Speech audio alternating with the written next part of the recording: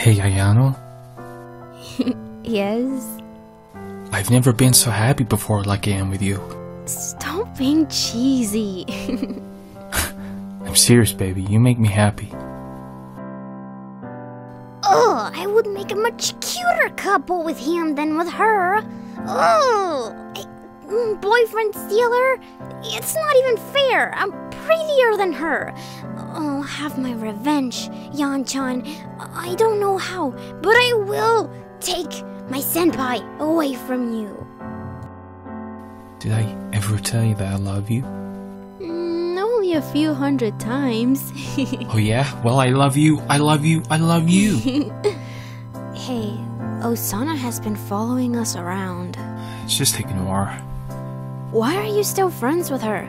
Even after you've seen how terrible of a person she is.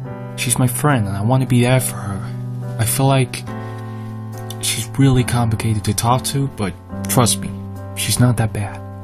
I don't like her. Let's just stop talking about her. I, d- I don't want to ruin the moment. Oh, miss, I saw Ayano, and she's with a boy, and I don't think they're supposed to be doing that. What do you mean? They're laying down on the ground, cuddling and stuff.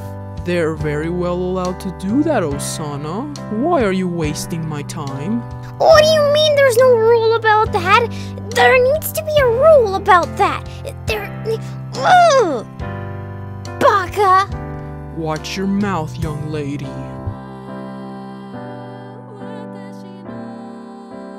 You're a really great cook. What are you making, sweetheart? Octopus hot dogs. No way, those are my favorite.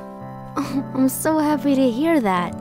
Did Osana cook for you too? Nah, she made me soup once, but it tasted like cat litter. Oh no, way, that's awful.